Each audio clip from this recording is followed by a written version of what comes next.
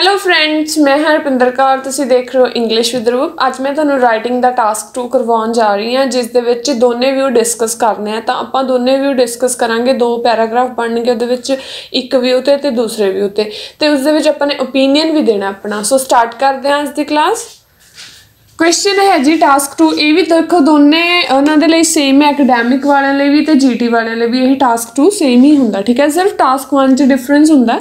ਸੋ question ਹੈ some people say that only reason for learning a foreign language is in order to travel to or work in foreign country. ਕਹਿੰਦੇ ਦੂਜੀ language ਸਿੱਖਣ ਦਾ foreign language ਸਿੱਖਣ ਦਾ, ਕਹਿੰਦੇ ਤਾਂ ਹੀ main ਮਕਸਦ ਇਹ ਹੈ ਵੀ ਕਿਤੇ ਹੋਰ ਟਰੈਵਲ ਕਰਨਾ, ਕਿਸੇ ਹੋਰ ਫੋਰਨ ਕੰਟਰੀ ਦੇ ਵਿੱਚ ਜਾਂ ਫਿਰ ਵਰਕ ਕਰਨ ਦੇ ਲਈ ਹੀ ਕਹਿੰਦੇ ਸਿੱਖੀ ਜਾਂਦੀ ਹੈ ਬਟ ਅਦਰ ਹੋਰ ਦੂਸਰੇ ਲੋਕ ਕੀ ਕਹਿੰਦੇ ਨੇ? Other say that these are not the only reason ਪਰ ਦੂਜੇ ਲੋਕ ਕਹਿੰਦੇ ਵੀ ਸਿਰਫ ਵਰਕ ਵਾਸਤੇ ਜਾਂ ਟਰੈਵਲ ਵਾਸਤੇ ਹੀ ਫੋਰਨ ਲੈਂਗੁਏਜ ਨਹੀਂ ਸਿੱਖੀ ਜਾਂਦੀ। ਇਹਦੇ ਹੋਰ ਵੀ ਰੀਜ਼ਨਸ ਨੇ, ਠੀਕ ਹੈ?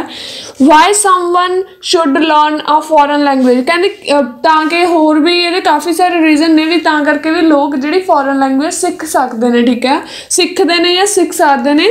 Discuss both views and give your opinion. So ਹੁਣ ਇਹਦੇ ਵਿੱਚ ਇਹੀ ਦੱਸਿਆ ਵੀ ਲੋਕ ਕਹਿੰਦੇ ਸਿਰਫ ਇਹੀ ਨਹੀਂ ਹੈਗਾ ਵੀ ਫੋਰਨ ਜਾਣ ਦੇ ਲਈ, ਠੀਕ ਹੈ, ਜਦੋਂ ਉਹਨਾਂ ਨੇ ਕੰਮ ਤੇ ਜਾਣਾ ਜਾਂ ਵਰਕ ਤੇ ਜਾਣਾ, ਤਾਂ ਹੀ ਫੋਰਨ ਲੈਂਗੁਏਜ ਸਿੱਖਦੇ ਨੇ ਅਨਦਰ ਲੈਂਗੁਏਜ ਸਿੱਖਦੇ ਨੇ। ਕਹਿੰਦੇ ਇਹਦੇ ਹੋਰ ਵੀ ਰੀਜ਼ਨ ਨੇ, ਕਹਿੰਦੇ why someone should learn a foreign language ਕਿਉਂ ਕਹਿੰਦੇ ਸਿੱਖਣੀ ਚਾਹੀਦੀ ਹੈ ਵੀ ਫੋਰਨ ਲੈਂਗੁਏਜ ਵੀ ਇਹਦੇ ਹੋਰ ਜਿਹੜੇ ਜਿਹੜੇ ਰੀਜ਼ਨ ਨੇ, ਉਹ ਆਪਾਂ ਦੋਨੇ ਡਿਸਕਸ ਕਰਾਂਗੇ, ਠੀਕ ਹੈ? Discuss both views and give your opinion, ਠੀਕ ਹੈ? ਹੁਣ ਦੂਜਾ ਪੁਆਇੰਟ ਦੇ ਵਿੱਚ ਆਪਾਂ ਦੱਸਾਂਗੇ ਵੀ ਕਿਉਂ ਹੋਰ ਰੀਜ਼ਨ ਕਿਹੜੇ ਹੁੰਦੇ ਆ, ਵੀ ਕਿਉਂ ਸਿੱਖਣੀ ਚਾਹੀਦੀ ਹੈ? ਤੇ ਪਹਿਲੇ ਦੱਸਾਂਗੇ ਵੀ ਵਰਕ ਦੇ ਲਈ ਕਿਉਂ ਇਹ ਸਿੱਖੀ ਜਾਂਦੀ ਹੈ, ਕਿ ਇਹਦੇ ਹੋਣੇ ਠੀਕ ਹੈ? ਸੋ ਹੁਣ ਫਸਟ ਹੈਗਾ some people say that only reason ਹੁਣ ਮੈਂ ਇਹੀ ਇਲੈਬੋਰੇਟ ਕੀਤਾ, ਆਪਾਂ ਇਹਦੇ ਇੰਟਰੋਡਕਸ਼ਨ ਤੇ ਕਨਕਲੂਜਨ ਬਾਅਦ 'ਚ ਕਰਾਂਗੇ। ਪਹਿਲਾਂ BP1 ਡਿਸਕਸ ਕਰਦੇ ਹਾਂ points nowadays learning a new language for the purpose of working ਕਹਿੰਦੇ, ਜਿਹੜੀ ਅੱਜ ਕੱਲ ਲੈਂਗੁਏਜ ਸਿੱਖੀ ਜਾਂਦੀ ਹੈ new language for purpose of working or travel ਵੀ ਲਿਖ ਦੋਗੇ ਇੱਥੇ, ਠੀਕ ਹੈ? Or travelling seems to become more and more popular ਕਹਿੰਦੇ ਕੰਮ ਤੇ ਵਰਕ ਦੇ ਲਈ ਜਿਹੜੀ ਲੈਂਗੁਏਜ ਸਿੱਖੀ ਜਾਂਦੀ ਹੈ ਠੀਕ ਹੈ ਉਹ ਕੀ ਹੁੰਦੀ ਜਾ ਰਹੀ ਹੈ ਬਹੁਤ ਜ਼ਿਆਦਾ ਪਪੂਲਰ ਹੁੰਦੀ ਜਾ ਰਹੀ ਹੈ adults in need of money ਕਹਿੰਦੇ ਅਡਲਟਸ ਇਹਨੂੰ ਤਾਂ ਸਿੱਖਦੇ ਨੇ ਲਾਈਕ ਉਹਨਾਂ ਨੂੰ ਮਨੀ ਦੀ ਜ਼ਰੂਰਤ ਹੁੰਦੀ ਹੈ and pursue their happiness far away from home so ਕਹਿੰਦੇ ਉਹ ਦੂਰ ਹੁੰਦੇ ਨੇ ਘਰ ਤੋਂ ਤੇ ਆਪਣੀ ਹੈਪੀਨੈਸ ਲਾਈਕ ਉਹਦੇ ਨਾਲ ਮਨੀ ਦੇ ਨਾਲ ਉਹ ਪੂਰੀ ਕਰਦੇ ਨੇ ਸੋ ਤਾਂ ਵੀ ਉਹਨਾਂ ਨੂੰ ਕਹਿੰਦੇ ਜ਼ਰੂਰਤ ਹੈ ਜੇ ਉਹਨਾਂ ਨੇ ਕਿਤੇ ਹੋਰ ਜਾਣਾ ਟੁਡੇਜ਼ EMPLOYERS ਜਿਹੜੇ ਓਨਰ ਹੁੰਦੇ ਨੇ, ਕਹਿੰਦੇ ਮਾਲਕ ਹੁੰਦੇ ਨੇ ਕੰਪਨੀਆਂ ਦੇ looking not only for multi skilled EMPLOYEES but they also want people who know more than their mother tongue ਇਸ ਦਾ ਮੀਨਿੰਗ ਇਹ ਹੈ ਵੀ ਜਿਹੜੇ ਅੱਜ ਅੱਜਕੱਲ ਕੰਪਨੀਆਂ ਦੇ ਓਨਰ ਨੇ ਠੀਕ ਹੈ, ਉਹ ਕਹਿੰਦੇ ਮਲਟੀ ਸਕਿਲਡ EMPLOYE ਨਹੀਂ ਲੱਭਦੇ ਸਿਰਫ, ਉਹ ਉਦਾਂ ਦਾ EMPLOYE ਲੱਭਦੇ ਨੇ ਜਿਹਨੂੰ ਇੱਕ ਤੋਂ ਜ਼ਿਆਦਾ ਕਹਿੰਦੇ ਮਦਰ ਟੰਗ ਤੋਂ ਬਿਨਾ ਹੋਰ ਲੈਂਗੁਏਜ ਵੀ ਆਉਂਦੀ ਹੋਵੇ, ਠੀਕ ਹੈ। ਮਤਲਬ ਕਿ ਉਹ ਮਲਟੀਟਾਸਕਿੰਗ ਪਰਸਨ ਲੱਭਦੇ ਨੇ ਵੀ ਜਿਹੜਾ ਦੋਨ, ਹੋਰ ਲੈਂਗੁਏਜਸ ਵੀ ਜਾਣਦਾ ਹੋਵੇ। ਸੋ ਇਹ ਰੀਜ਼ਨ ਤਾਂ ਤੁਸੀਂ ਲਿਖ ਦੋਗੇ ਆਪਣੇ ਵਰਕ ਵਾਲੇ ਔਰ ਟਰੈਵਲ ਵਾਲੇ ਪੁਆਇੰਟ ਦੇ ਵਿੱਚ ਵੀ ਕਿਉਂ ਲਾਈਕ ਵਰਕ ਦੇ ਲਈ ਸਿੱਖਦੇ ਨੇ, ਠੀਕ ਹੈ ਕੀ ਕੀ ਉਹਨਾਂ ਨੂੰ ਬੈਨੀਫਿਟਸ ਹੁੰਦੇ ਨੇ।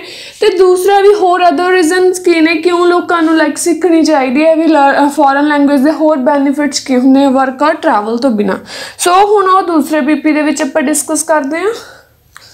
ਓਕੇ ਹੁਣ ਦੂਸਰੀ ਸਾਈਡ ਦੂਸਰਾ ਵਿਊ ਆਪਾਂ ਡਿਸਕਸ ਕਰਦੇ ਹਾਂ। A new language should not be learn just for travelling or working in a foreign country ਕਹਿੰਦੇ ਸਿਰਫ ਉਹਦੇ ਕਰਕੇ ਹੀ ਨਹੀਂ ਟਰੈਵਲ ਤੇ ਵਰਕ ਕਰਕੇ ਹੀ ਨਹੀਂ ਸਿੱਖੀ ਜਾਂਦੀ। ਇਹ ਹੋਰ ਕੀ ਹੈਲਪ ਕਰਦੀ ਹੈ? ਠੀਕ ਹੈ should help learner broaden his mind ਕਹਿੰਦੇ ਜੇ ਲਰਨਰ ਨੂੰ ਸਟੂਡੈਂਟ ਨੂੰ ਜਾਂ ਕਿਸੇ ਵੀ ਪਰਸਨ ਨੂੰ ਹੋਰ ਲੈਂਗੁਏਜ ਆਉਂਦੀ ਹੈ ਤਾਂ ਉਹਦਾ ਦਿਮਾਗ ਕੀ ਹੈ? ਬ੍ਰੋਡਨ ਲਾਈਕ ਉਹਦੇ ਆਈਡੀਆਸ ਲਰਨਰ ਦੇ ਕੀ ਹੋ ਜਾਂਦਾ ਬ੍ਰੋਡਨ ਹਿਸ ਮਾਈਂਡ ਠੀਕ ਹੈ, ਉਹਨੂੰ ਹੋਰ ਹੋਰ ਬਹੁਤ ਨੌਲੇਜ ਮਿਲਦੀ ਹੈ।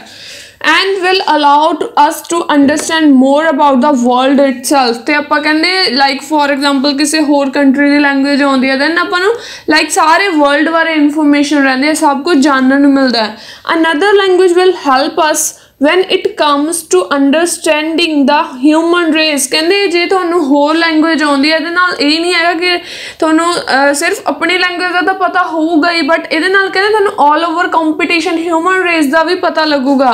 Because language is the first poem of a country ਕਹਿੰਦੇ ਕਿਉਂਕਿ ਲੈਂਗੁਏਜ ਇੱਕ ਫਰਸਟ ਪੋਇਮ ਹੁੰਦੀ ਹੈ ਕਿਸੇ ਵੀ ਕੰਟਰੀ ਦੀ। ਸੋ ਇਹਦੇ ਨਾਲ ਹੋਰ ਤੁਸੀਂ ਲਿਖ ਸਕਦੇ ਹੋ ਨੌਲੇਜ ਮਿਲੂਗੀ ਸਕਿੱਲ ਇੰਪਰੂਵ ਹੋਣਗੀਆਂ, ਠੀਕ ਹੈ ਪਰਸਨੈਲਿਟੀ ਇੰਪਰੂਵ ਹੁੰਦੀ ਹੈ। ਸੋ ਕਾਫੀ ਪੁਆਇੰਟ uh, ਆ ਜਾਣਗੇ ਇਸ ਵਾਲੇ ਵਿਊ ਦੇ ਵਿੱਚ, ਠੀਕ ਹੈ ਜੀ? ਸੋ ਹੁਣ ਇਸ ਤੋਂ ਬਾਅਦ ਆਪਾਂ ਇੰਟਰੋਡਕਸ਼ਨ ਡਿਸਕਸ ਕਰਦੇ ਹਾਂ। ਇੰਟਰੋਡਕਸ਼ਨ ਦੇ ਵਿੱਚ ਆਪਾਂ ਕਿੱਦਾਂ ਇਹਨੂੰ ਪੈਰਾਫਰੇਜ਼ ਕਰ ਸਕਦੇ ਹਾਂ?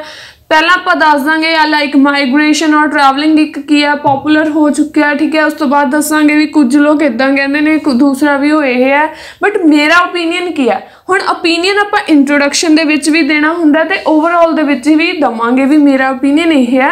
ਸੋ ਆਪਾਂ ਹੁਣ ਦੇਖਦੇ ਹਾਂ ਇੰਟਰੋਡਕਸ਼ਨ ਇਸ ਦੀ ਕਿਸ ਤਰ੍ਹਾਂ ਲਿਖ ਸਕਦੇ ਹਾਂ। ਓਕੇ ਇਹਦੀ ਇੰਟਰੋਡਕਸ਼ਨ ਹੁਣ ਆਪਾਂ ਲਿਖਾਂਗੇ। ਪਹਿਲੀ ਲਾਈਨ ਆਪਾਂ ਥੋੜੀ ਜੀ ਟਰੈਵਲਿੰਗ ਤੇ ਮਾਈਗ੍ਰੇਸ਼ਨ ਤੇ ਦੱਸ ਦਾਂਗੇ। Travelling and migration are two primary reasons for many to learn a foreign language ਠੀਕ ਹੈ? ਕਹਿੰਦੇ ਦੋ ਪ੍ਰਾਇਮਰੀ ਰੀਜ਼ਨ ਨੇ। ਵਾਈਲ ਪਰ ਕਹਿੰਦੇ ਕੀ ਹੈ? While some feel this pursuit is solely a practical one ਕਹਿੰਦੇ ਕੁਝ ਲੋਕ ਕਹਿੰਦੇ ਸਿਰਫ ਇਹ ਟਰੈਵਲਰ ਵਰਕ ਦੇ ਲਈ ਹੋ ਹੁੰਦਾ ਹੈ, ਸਿੱਖੀ ਜਾਂਦੀ ਹੈ। Allowing ਅਸ ਟੂ ਟਰੈਵਲ ਔਰ ਲਿਵ ਅਬਰੋਡ ਪਰ ਹੋਰ ਦੂਸਰੇ ਲੋਕ ਕੀ ਕਹਿੰਦੇ ਨੇ other see it as a something more ਪਰ ਕਹਿੰਦੇ ਨਹੀਂ, ਇਸ ਤੋਂ ਵੀ ਕੁਝ ਜ਼ਿਆਦਾ ਤਾਂ ਵੀ ਸਿੱਖੀ ਜਾਂਦੀ ਹੈ ਆਈ ਹਾਊਐਵਰ ਮੈਂ ਕੀ ਬਲੀਵ ਕਰਦੀ ਹਾਂ I however believe that this skill in a non-native language is beneficial at every stage ਕਹਿੰਦੇ ਕੀ ਹੈ? ਨਾਨ ਨੇਟਿਵ ਲੈਂਗੁਏਜ ਹਰੇਕ ਸਟੇਜ ਤੇ ਬੈਨੀਫੀਸ਼ੀਅਲ ਹੁੰਦੀ ਹੈ। Every stage of life beyond the travel and migration facilities so ਆਪਾਂ, ਮੇਰਾ opinion ਇਹ ਹੈ ਵੀ ਕੀ ਹੈ, ਜੇ ਆਪਾਂ ਫੋਰਨ ਲੈਂਗੁਏਜ ਸਿੱਖਦੇ ਹਾਂ ਈਚ ਐਂਡ ਐਵਰੀ ਸਟੇਜ ਤੇ ਆਪਣੇ ਲਈ ਬੈਨੀਫਿਟਸ ਹੀ ਪ੍ਰੋਵਾਈਡ ਕਰੂਗੀ। ਠੀਕ ਹੈ ਜੀ? ਸੋ ਹੁਣ ਇਹਦਾ ਕਨਕਲੂਜਨ ਦੇਖਦੇ ਹਾਂ, ਉਹਦੇ ਵਿੱਚ ਵੀ ਆਪਾਂ ਆਪਣਾ ਲਾਈਕ ਵਿਊ ਪੁਆਇੰਟ ਦਵਾਂਗੇ, ਆਪਣਾ ਓਪੀਨੀਅਨ ਦਵਾਂਗੇ। ਓਕੇ ਹੁਣ ਇਹਦਾ ਕਨਕਲੂਜਨ ਕੀ ਦਵਾਂਗੇ? ਆਪਾਂ in conclusion I believe that a different language should be not only for satisfying our physical needs ਕਹਿੰਦੇ ਜਿਹੜੀ ਡਿਫਰੈਂਟ ਲੈਂਗੁਏਜ ਹੈ ਉਹ ਸਿਰਫ ਆਪਣੀਆਂ ਫਿਜ਼ੀਕਲ ਜ਼ਰੂਰਤਾਂ ਹੀ ਪੂਰੀਆਂ ਨਹੀਂ ਕਰਦੀ, ਜਿਵੇਂ ਲਾਈਕ ਮਨੀ ਹੋ ਗਈ, ਠੀਕ ਹੈ? But also our moral needs ਇਹ ਕਹਿੰਦੇ ਆਪਣੀਆਂ ਮੋਰਲ ਨੀਡਸ ਵੀ ਪੂਰੀਆਂ ਕਰਦੀ ਹੈ। ਇਹਦੇ ਵਿੱਚ ਹੋਰ ਐਡ ਕਰ ਸਕਦੇ ਹਾਂ ਵੀ ਇਹਦੇ ਸੈਵਰਲ ਰੀਜ਼ਨਸ ਨੇ ਸਿੱਖਣ ਦੇ ਔਰ ਲਰਨਿੰਗ ਆਫ ਫੋਰਨ ਲੈਂਗੁਏਜ ਦੇ, ਠੀਕ ਹੈ? ਇਹਦੇ ਨਾਲ ਬਹੁਤ ਜ਼ਿਆਦਾ ਬੈਨੀਫਿਟਸ ਹੁੰਦੇ ਨੇ। ਸੋ ਤੁਸੀਂ ਦੱਸ ਸਕਦੇ ਹੋ, ਸਿਰਫ ਵਰਕ ਔਰ ਐਜੂਕੇ ਉਹਦੇ ਨਾਲ ਟਰੈਵਲ ਦੇ ਲਈ ਹੀ ਨਹੀਂ ਆਪਾਂ ਇਹਨੂੰ ਸਿੱਖਦੇ, ਠੀਕ ਹੈ? ਉਹਦੇ ਵਿੱਚ ਹੀ ਆਪਣੇ ਲਈ ਹੈਲਪਫੁਲ ਨਹੀਂ ਹੁੰਦੀ। Each and every field of life ਦੇ ਵਿੱਚ ਆਪਣੇ ਈਚ ਫੈਕਟਰ ਚ ਕੀ ਹੈ? ਇਹ ਹੈਲਪ ਕਰਦੇ ਆ, ਠੀਕ ਹੈ? ਹਰੇਕ ਸਟੇਜ ਤੇ ਆਪਣੇ ਲਈ ਬੈਨੀਫਿਟ ਹੁੰਦੇ ਆ। ਜੇ ਸਾਨੂੰ ਜ਼ਿਆਦਾ ਲੈਂਗੁਏਜ ਆਉਂਦੇ ਨੇ ਉਹ ਬਹੁਤ ਜ਼ਿਆਦਾ ਓਪਰਚ्युनिटीज ਆਪਣੇ ਲਈ ਖੁੱਲ ਜਾਂਦੀਆਂ ਨੇ, ਠੀਕ ਹੈ? ਸੋ ਜੌਬ ਓਪਰਚੁਨਿਟੀ ਹੋ ਗਈ, ਕਿਸੇ ਵੀ ਜਗ੍ਹਾ ਤੇ ਤੁਹਾਨੂੰ ਜ਼ਿਆਦਾ ਪ੍ਰੈਫਰੈਂਸ ਦਿੱਤੀ ਜਾਂਦੀ ਹੈ ਉਸ ਪਰਸਨ ਨੂੰ, ਠੀਕ ਹੈ? ਮੋਨੋਲਿੰਗੁਅਲ ਹੁੰਦਾ, ਜਿਹਨੂੰ ਇੱਕ ਲੈਂਗੁਏਜ ਆਉਂਦੀ ਹੋਵੇ ਬਾਇਲਿੰਗੁਅਲ ਹੁੰਦਾ, ਜਿਹਨੂੰ ਦੋ ਲੈਂਗੁਏजेस ਆਉਂਦੀਆਂ ਹੁਣ। ਸੋ ਆਬਵੀਅਸ ਜੀ ਗੱਲ ਹੈ, ਜਿਹੜਾ ਪਰਸਨ ਬਾਇਲਿੰਗੁਅਲ ਹੋਊਗਾ, ਉਹਨੂੰ ਜ਼ਿਆਦਾ ਓਪਰਚ्युनिटीज ਮਿਲਣਗੀਆਂ। ਠੀਕ ਹੈ ਫਰੈਂਡਸ ਇਹ ਸੀ ਆਪਣੀ ਅੱਜ ਦੀ ਕਲਾਸ ਮੈਨੂੰ ਆਸ ਹੈ ਕਿ ਤੁਹਾਨੂੰ ਅੱਜ ਦੀ ਕਲਾਸ ਬਹੁਤ ਪਸੰਦ ਆਊਗੀ। ਟਾਸਕ 2 ਐਕੈਡੈਮਿਕ ਔਰ ਜੀਟੀ ਦੇ ਲਈ ਸੇਮ ਹੁੰਦਾ ਹੈ। ਸੋ ਮੈਨੂੰ ਆਸ ਹੈ ਕਿ ਤੁਹਾਨੂੰ ਮੇਰੀ ਅੱਜ ਦੀ ਕਲਾਸ ਬਹੁਤ ਪਸੰਦ ਆਊਗੀ। ਜੇ ਤੁਹਾਨੂੰ ਮੇਰੀ ਅੱਜ ਦੀ ਕਲਾਸ ਵਧੀਆ ਲੱਗੀ ਤਾਂ ਲਾਈਕ ਜ਼ਰੂਰ ਕਰਿਓ ਸ਼ੇਅਰ ਜ਼ਰੂਰ ਕਰਿਓ, ਮੇਰੇ ਚੈਨਲ ਨੂੰ ਸਬਸਕ੍ਰਾਈਬ ਕਰੋ ਤੇ ਬੈਲ ਆਈਕਨ ਤੇ ਕਲਿੱਕ ਕਰੋ ਤਾਂ ਕਿ ਆਉਣ ਵਾਲੀ ਵੀਡੀਓ ਦੀ ਨੋਟੀਫਿਕੇਸ਼ਨ ਤੁਹਾਨੂੰ ਮਿਲ ਸਕੇ। ਓਕੇ ਫਰੈਂਡਸ ਮਿਲਦੇ ਹਾਂ ਨਵੀਂ ਵੀਡੀਓ ਦੇ ਨਾਲ। Bye bye take care